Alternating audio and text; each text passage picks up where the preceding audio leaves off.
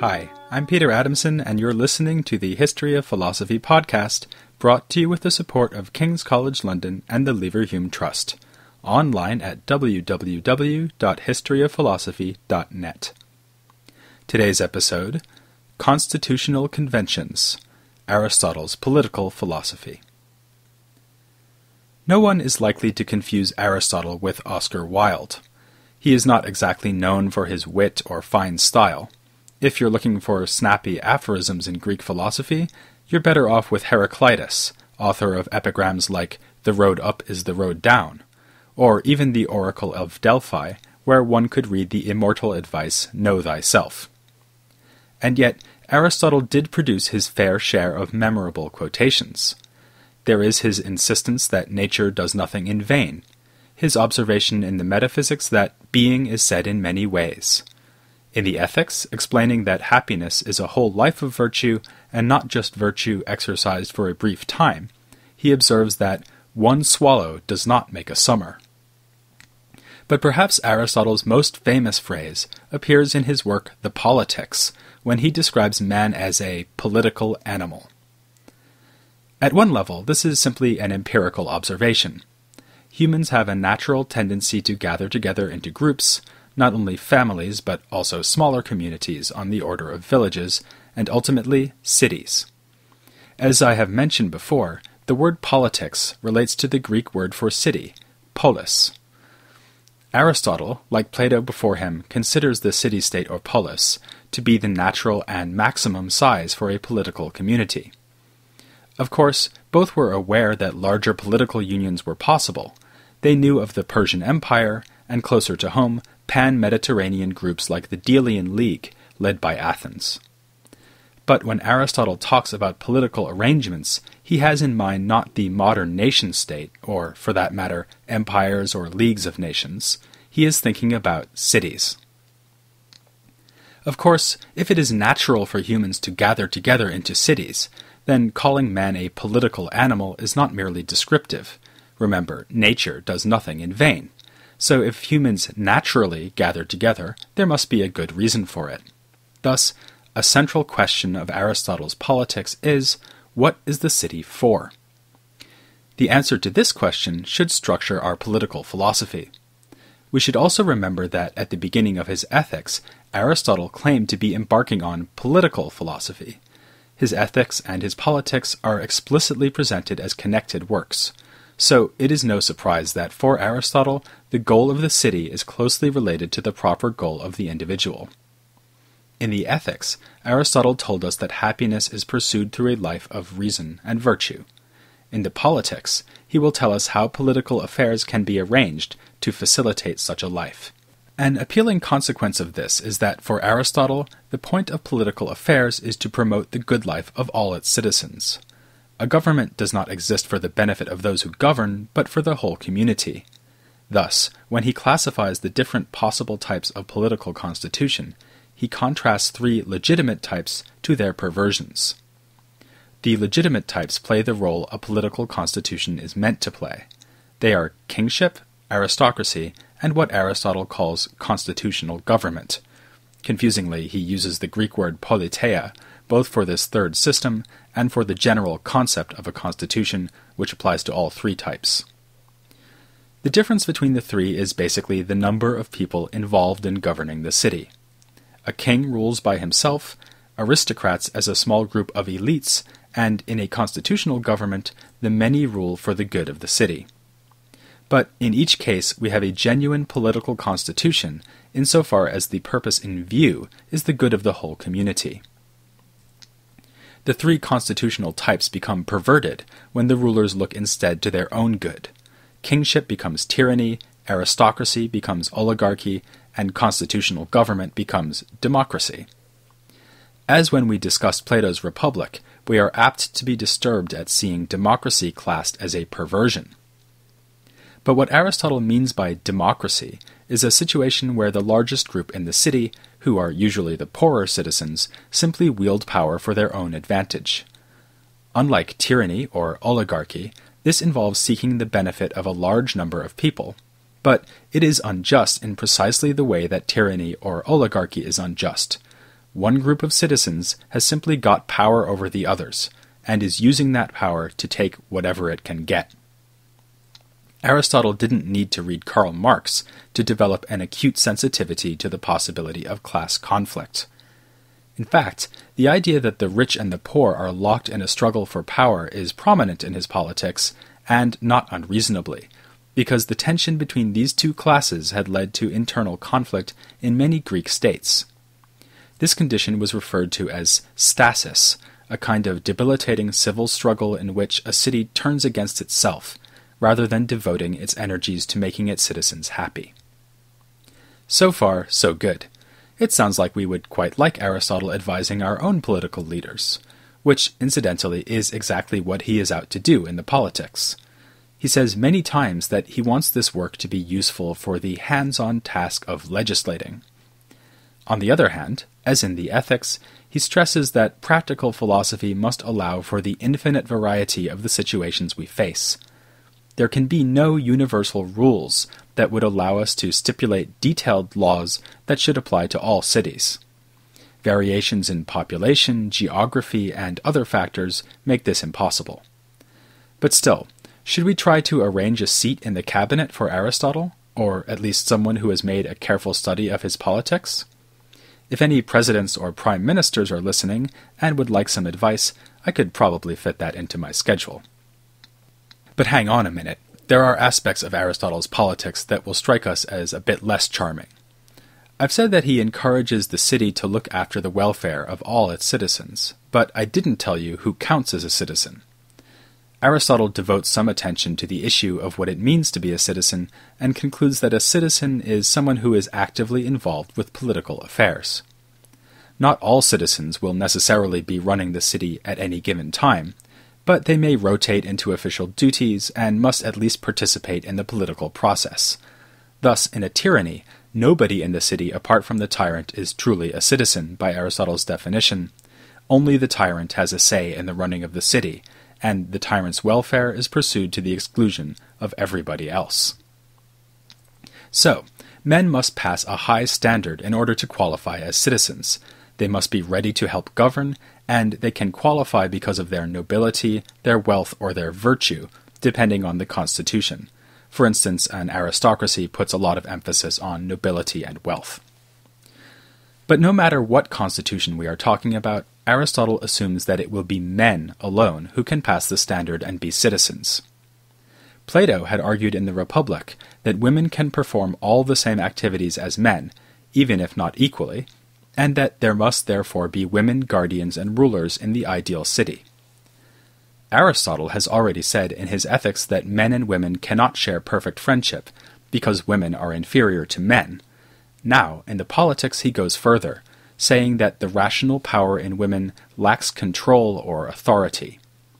Women need men to tell them what to do, since they are by nature unable to regulate their own affairs properly, never mind the affairs of the city.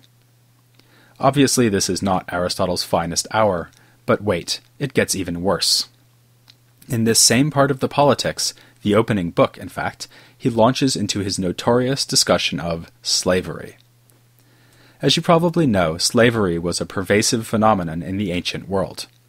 It was very common for warfare to involve the enslavement of conquered peoples, and a wealthy Greek or Roman household would typically include slaves who did menial and even not so menial tasks. In Aristotle's account of slavery, we see the downside of his fidelity to common opinion and empirical research.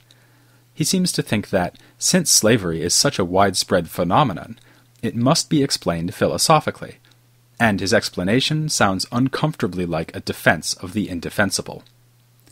Even this, though, is perhaps letting him off too lightly. After all, Aristotle is willing to reject received opinion when it suits him, and he is aware that rejecting slavery is an option because he mentions a view held by some others, according to which all slavery is unnatural. But he has no truck with this ancient abolitionism, and instead adopts what he no doubt sees as one of his characteristically moderate middle positions. He argues that some people are what he calls natural slaves, and that it is not only permissible to enslave such people, but actually the right thing to do. A natural slave is, as he puts it, a living tool, and is in an even worse condition than a free woman when it comes to conducting his own life. It is good for the slave to be owned, just as it is good for a woman to be dominated by her husband or father. On the bright side, this does lead Aristotle to criticize some Greek practices of enslavement. It is wrong, on his view, to enslave those who are not natural slaves. So, putting whole Greek cities into bondage after victory in war is definitely not acceptable, given that many who live in that city will not be natural slaves. These are people whose souls make them fit to be citizens participating in a political community, not mere tools of other men. Plato made a similar point in the Republic, exhorting the Greeks to stop enslaving one another, but also saying that those outside the fold of Greek society, so called barbarians, were fit for enslavement. Aristotle agrees, remarking, for instance, that everyone who lives in Asia is a natural slave. He connects this to climate, in a way familiar from the Hippocratic corpus. There, too, it is said that one's character is affected by one's environment. It just so happens, according to Aristotle, that the climate of Greece is perfectly temperate, so that the Greeks tend not to be naturally slavish. It follows that barbarians cannot really engage in proper political arrangements, since they do not have the souls one would need to engage successfully in such arrangements. And indeed, he says bluntly that among the barbarians no one is a natural ruler. Their cities are communities of slaves. Clearly, this is Aristotle at his most repellent. Still, it's worth noting that his views on women and slavery hang together with more attractive views he holds on other topics. For instance, in his Ethics, he has argued that the happy life is a life lived in accordance with reason, a conclusion many find plausible. Aristotle's ideas about women and slavery are simply a corollary of this, given the empirical claim that such people are not fully endowed with reason. Such people will be better off if someone who is fully rational takes charge of them. When Aristotle comes to discuss his vision of the ideal political arrangement, we find the same ideas in play. He doesn't really get around to this until Book 7 out of the eight books of the Politics. The last two books are almost like a miniature version of the Republic, a work Aristotle has been engaging with explicitly throughout the whole of the Politics. He agrees with very few of Plato's recommendations, but does take over the Republic's agenda of topics – he not only discusses defective types of city and the situation of women, but also the nature of the ideal city and how education would work in such a city. On these topics, Aristotle again makes clear that he is writing for real legislators. One can imagine him thinking of a reader who is, for instance, charged with drafting a legal code or settling a colony somewhere on the Mediterranean coast. Here you might recall that, according to legend, Heraclitus was asked to write laws for his home city of Ephesus, and the great sophist Protagoras was appointed by Pericles to legislate for a new colony. So, Aristotle provides plenty of detail, despite his strictures about universal pronouncements in the practical sphere. For instance, he recommends that the city have easy access to the sea and that it should build defensive walls. Regarding political arrangements, in the ideal case, there will be a group of excellent men who serve as citizens and share in governing the city. They will attempt to create the conditions needed to achieve a happy life. For instance, the citizens should have plenty of leisure, not least to engage in philosophy, though these same citizens may also need to serve as soldiers, much as Plato had recommended. Now Aristotle is sounding fairly reasonable again, except that we must remember that, as in the Republic, this ruling class will depend on the presence of many laborers and farmers to keep the city going. And, of course, there will be slaves and women as well, who will be excluded from the benefits provided by the ideal city. That's the optimal solution, but it isn't how things usually go. Aristotle prides himself on being a realist one gets the sense that he finds Plato's exclusively utopian project faintly ridiculous, however much he also indulges in a description of the best possible city at the end of the politics. Before getting to the ideal case, he spent a lot of time discussing politics in the real world. If we are interested in understanding the political dynamics that prevail now, perhaps with a view to improving legislation rather than starting from scratch, we will want to study the cities that already exist. I've mentioned before the ancient report that Aristotle and his students collected a large number of real constitutions for cities, and he is clearly drawing on this material as he alludes frequently to how they do things down in Sparta or Carthage.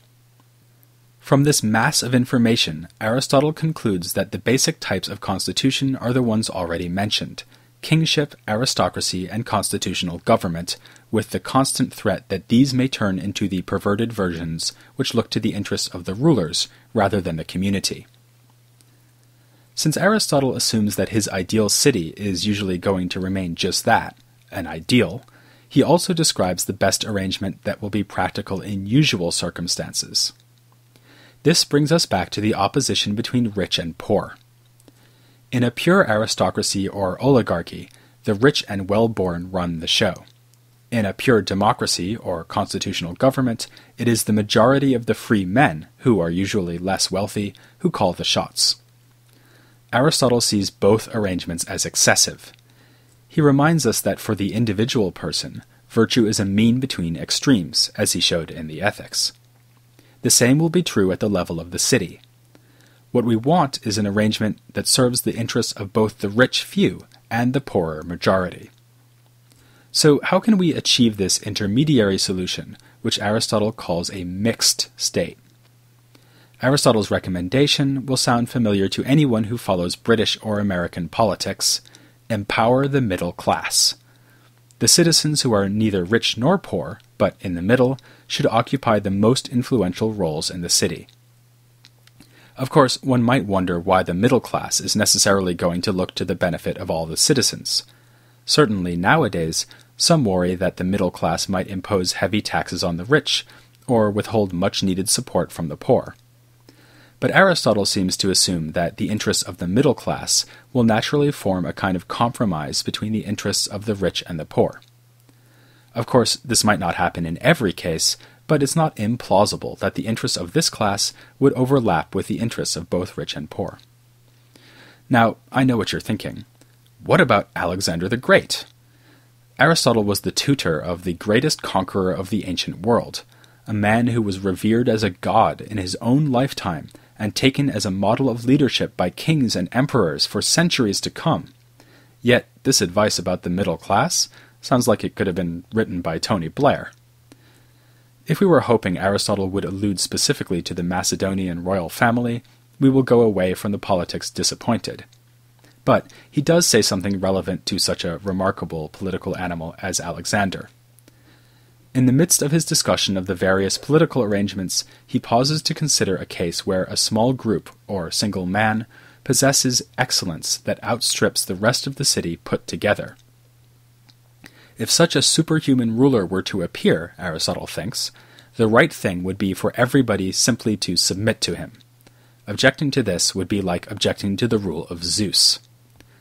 Clearly, this is, to put it mildly, an exceptional circumstance, but it does highlight an assumption Aristotle has been making throughout.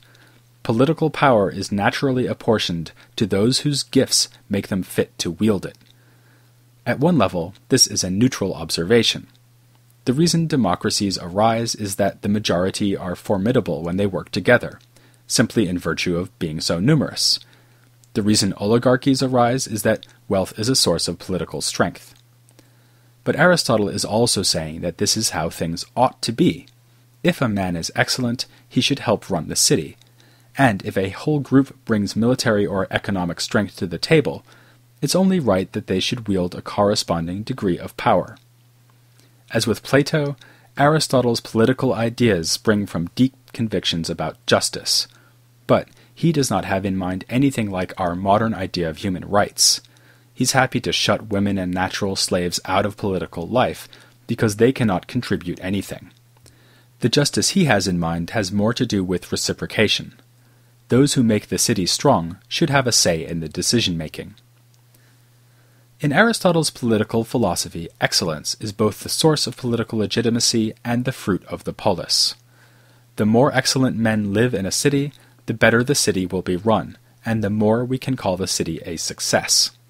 Its purpose was, after all, to produce excellent men, men who are happy according to the standards of his Nicomachean ethics. This is why his ideal city is simply a city of excellent citizens, supported by an underclass of women and laborers who cannot achieve excellence, but whose lives are improved by living under good rulers. This condition serves as the final end of all cities, the ideal towards which real legislators should work. But, as I've said, Aristotle thinks of himself as a realist. He wants to provide not only rational argument about political affairs, but also the tools for persuading people to change their beliefs.